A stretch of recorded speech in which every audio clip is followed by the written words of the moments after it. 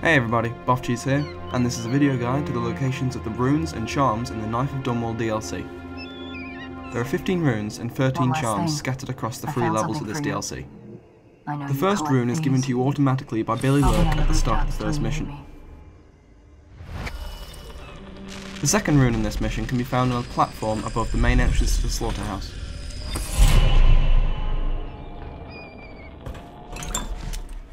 The third rune can be found inside the slaughterhouse and can be accessed by blinking up onto the ventilation shaft and working your way across. Of course this is very high up so if you fall you're going to die, so try and avoid that. The fourth rune can be found out in the open by the whale. While you're here, electrocute the whale and collect the whale eye. It's an ingredient for Granny Rag's recipe, which, along with a weeper corpse that can be found under the docks, will present you with the fifth rune in this level. The sixth rune must be bought as a favour at the start of the mission. This is similar to buying runes from Piero in the main game, but with more effort because you actually have to go and find it instead of him just giving it to you. Once you've paid for the favour, the game will point you to the drainage system underneath the slaughterhouse. The first charm in the first mission can be found just past the arc pylon in a building off to the side of the main street. The second can be found in a sewer outlet near the other arc pylon. To get to it, pull the lever to open the grate, and inside you'll find a swarm of rats. A choke dust or a normal grenade will clear the rats out fairly easily, but if you're playing for stealth, this might alert the guards. The third charm can be found inside the slaughterhouse in the remains of what appears to have once been a whale. The fourth can be found in the locker room, on top of what I think are meant to be showers.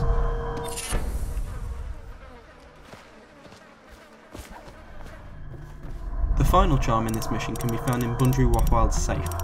The code for this safe is 512. In the next level, Eminent Domain, there are 7 runes and 5 charms. The first rune can be found at the top of the main street, where you can see a crane contraption. Either climb down or jump down like I did. In the warehouse to the side, you can find the first rune hidden behind some shelves. The second rune is in Roland's apartment, the mysterious stranger you find detained as you first enter the legal district. He presents the non-lethal solution to this mission, with the rune as payment. Of course, you can just stab Timsh and take the rune anyway. To get to the third room, you need to collect the key in Roland's apartment, labelled Apartment 10 Key.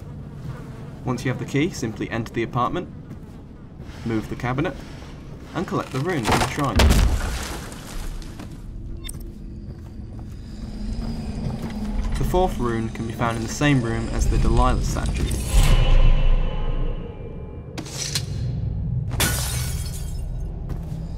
The fifth can be found on the ground floor of Timsh's house. To get into the chest, you do need Timsh's estate key, which can be either pickpocketed or looted from his corpse. To get the sixth rune, you must complete Granny Rag's recipe, which means you must get a tarot card from the ground floor, the world, take it to the shrine, bleed on it, and then burn it in the fire. Much like the first mission, the final rune must be bought as a favour. You'll find it fairly easily next to the river, simply by following the marker the game provides.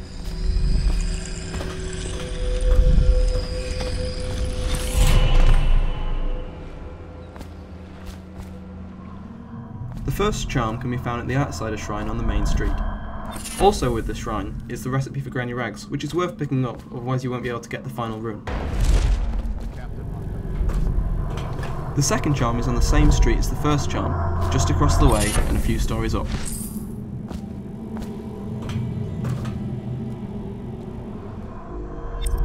The third charm can be found just as you enter the legal district, in the same building that imprisons Roland. The fourth charm can be found in the opposite end of the area, under some wreckage.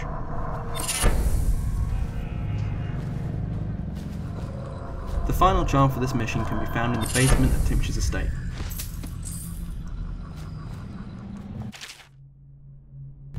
A few people have messaged me after the last video, asking where to find the key to the legal district, so this is just a little clip showing you exactly where it is. It's also showing how to throw a corpse off a high building. In the final mission of the DLC, The Surge, there are two runes and three charms. The first one can be found in the temporary headquarters set up by the Overseers. The second rune can be found in Daud's chest next to his bed.